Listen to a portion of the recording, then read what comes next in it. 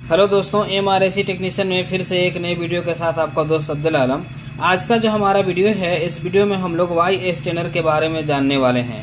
जैसा कि आप लोगों को सामने यहाँ पे दिख रहा है, ये जो है हमारा वाई एस टेनर है और ये जो आप जो दो चीज़ देख रहे हैं, ये हमारा भल्व है।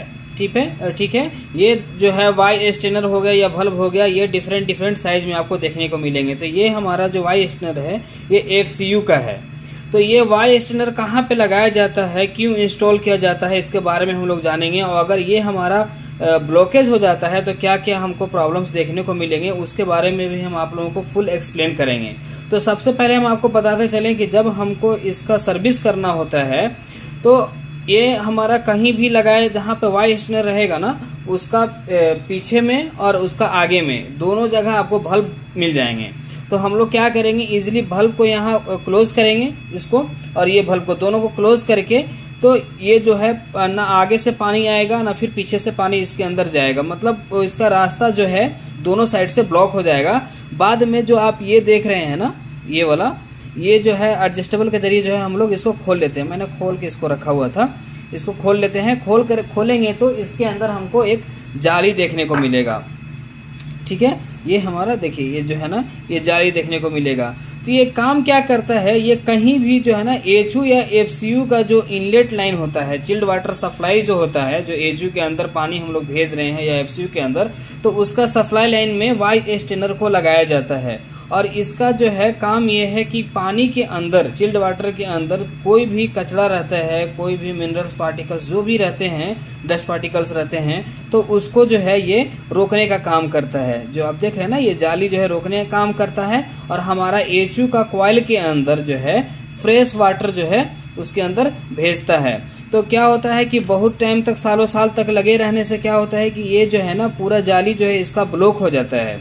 तो ब्लॉक होने के बाद क्या होता है कि जो हमारा एच का कूलिंग कैपेसिटी जो एक्चुअल होता है, वो हमें नहीं मिल पाता है। तो बहुत टाइम जो है, बहुत सारे टेक्नीशियन लोग को ये चीज़ मालूम नहीं होता है और इस तरह का हम प्रॉब्लम फेस किए हैं, इसलिए हम आप लोगों को बताना चाह रहे हैं कि इसके चलते भी जो है हमारा जो है कूलिंग इफिशियंसी कम हो जाता है एच का या एफ़ का। क्यों? आप एग्ज़ाम्पल के तौर पे मान लो, अगर एक, कहीं पे आप पानी दे रहे हो, किसी एक पाइप के ज़रिए, अगर वो आधा ब्लॉक हो जाता है तो जो जितना रिक्वायरमेंट ज़रूरत है आगे पानी जाने का, उतना नहीं जाएगा। तो उसी हिसाब से अगर हमारा ये जो स्टेनर है, अगर फुल ब्लॉकेज हो जाता है चलते चलते ब्लॉकेज हो जाता है तो उसके बाद क्या होएगा कि जितना पानी आगे एच को सप्लाई जाना चाहिए, उतना पानी नहीं जाएगा। और फिर उस बीच में क्या होगा कि आपका जो है एच जो है परफॉर्मेंस जो है उसका कूलिंग कैपेसिटी जो है, कम हो जाएगा। तो जब हम लोग इसको वाई स्टेनर को निकाल करके फुल इसको वाटर से हम लोग वॉश कर सकते हैं। दूसरा कोई ये नहीं है कि ज़्यादा इसका प्रोसीजर नहीं है। तो वाटर से इसको हम जो है निकाल करके वॉश करके और फिर इसको यहाँ पे लगाएँगे और उसके बाद जो है इसको फुल टाइट कर देंगे कि लीकेज ना हो, नहीं तो पानी जो है इसका गिरते रहता है। तो जो हमारा प्रॉब्लम था कूलिंग का, वो प्रॉब्लम सॉल्व हो जाएगा। तो आज का वीडियो में हमारा बताने का मकसद ये था कि हम लोग बाकी चीज़ को भी चेक करें, फ़िल्टर चाहे जो भी चीज़ लगाए हुए हैं, लेकिन हम लोग इसको भी देख सकते हैं। ये जो है हमारा थ्री बाई फोर का ये स्टेनर है साइज़ में। ये भाल भी उस साइज़ का है, वो पाइप में लगा होगा।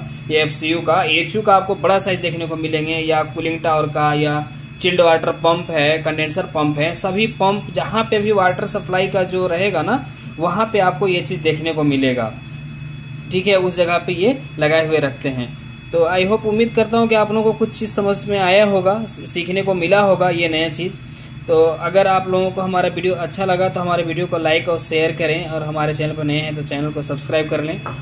और भी आप कोई नया चीज़ टॉपिक पे जानना चाहते हैं तो आप जो है कमेंट कर सकते हैं और हम उसको बताने का कोशिश करेंगे। और ऐसे भी हम नए नए आप लोगों के लिए टॉपिक लाते रहते हैं। चलें फिर आप अपना ख्याल रखें, फिर मिलते हैं किसी दूसरे वीडियो में किसी दूसरे टॉपिक के साथ।